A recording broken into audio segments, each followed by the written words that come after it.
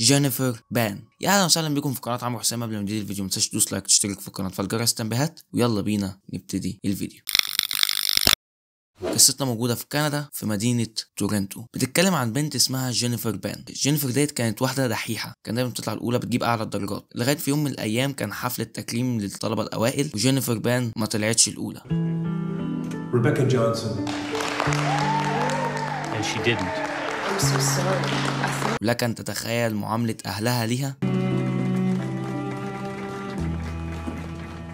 ساعتها جينيفر حست إن الموضوع ما بقاش جايب همه ما بقاش ليه لازمة ما بقاش ليه لازمة إن أنت تكمل وتقعد تتعب عشان تجيب درجات عالية لدرجة انها في السنين اللي بعديها ابتدت تجيب درجات وحشة. فطبعا عشان ما تحبطش أبوها وأمها قررت إنها إيه؟ تزور النتيجة وده كان أسوأ حاجة عملتها في حياتها. وطبعا بجانب إنها كانت بتكذب في موضوع النتيجة ديت كمان كانت مخبية موضوع إن عندها صاحب. المهم ال boyfriend دوت كان اسمه دانيال. اتعرفت عليه وهي عندها 16 سنة. حصل إن كان عندها زي كان جات لها أزمة في التنفس ودانيال هو اللي ساعدها إنها تتخلص منها. فهي ساعتها شافت إن هو لأ ده انقذ حياتها فتعلقت بيه.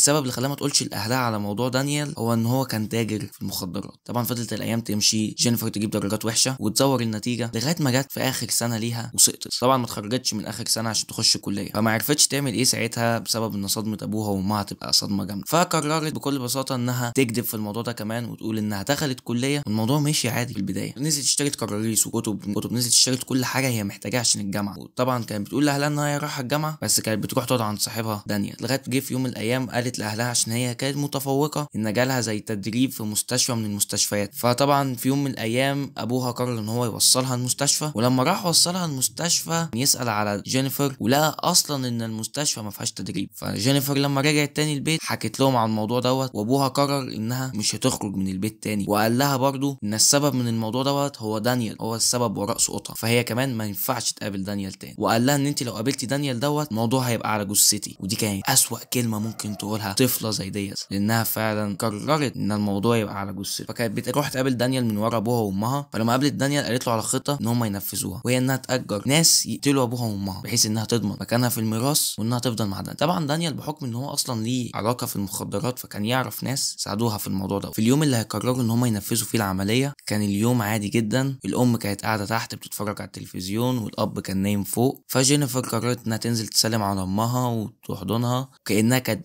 بتودعها الوداع الأخير أو مش كأنها هي فعلا كانت بتودعها الوداع الأخير. فقامت فاتحة الباب وقامت طالعة أوضتها ومدية الإشارة للحرامية بإنها تقفل نور أوضتها وتفتحه كذا مرة. الحرامية طبعا شافوا الإشارة ودخلوا.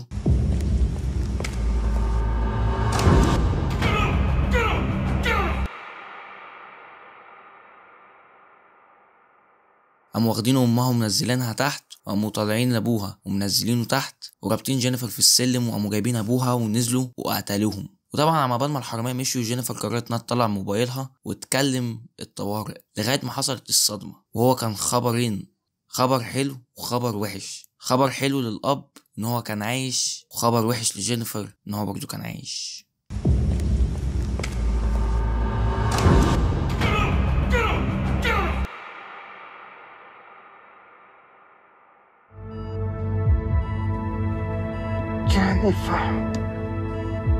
وجينيفر قررت إنها تكذب للمرة الأخيرة وتقول إنها ما كانتش تعرفهم لغاية ما الأب فعلا فاق واعترف بكل حاجة وقال لهم إن هما كانوا بيعاملوا جينيفر كأنهم يعرفوها قبل كده وطبعا بعد شوية تحقيق اكتشفوا إن جينيفر كانت تعرف القتلة وجينيفر اعترفت واتحبست لمدة 35 سنة 2015 Jennifer fabricates so much of her life that the line between fantasy and reality becomes blurred.